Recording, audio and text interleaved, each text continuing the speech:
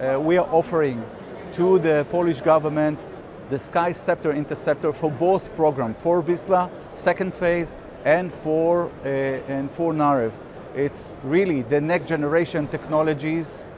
We want to share the technologies with uh, the Polish industries and to get the ability to the Pol Polish industries to produce uh, this kind of uh, interceptor in the future. We know that there are changes in the battlefield and we know that uh, uh, there are changes in the world. We are looking to the future and we are talking about using the Spike as a missile that will be loaded on uh, helicopters. The new helicopter, it's a new program and we are offering to use the Spike that will be used in the Air Force.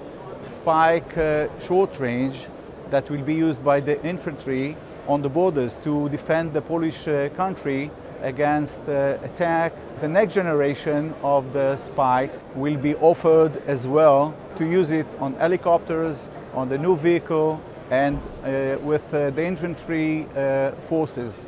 Since we are producing the uh, missile here in Poland, in Mesko, for many years, same we are offering for the future, the upgraded missile and the missile for uh, the other uses, technology will be shared with, uh, uh, with the Polish industries and will be produced here as we did in the past. So this is what we are offering for the future for the Spike anti-tank missiles.